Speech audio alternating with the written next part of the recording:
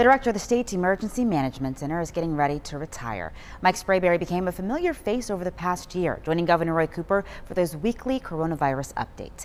Sprayberry is going to retire August 1st. He was appointed director more than eight years ago and served the state for more than 42 years. He's helped lead our state through winter storms, hurricanes, earthquakes, even this global pandemic.